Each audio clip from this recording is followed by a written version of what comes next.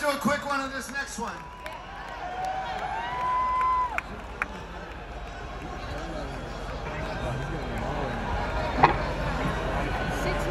Well, we got five minutes. This is a five-minute version of a ten-minute song.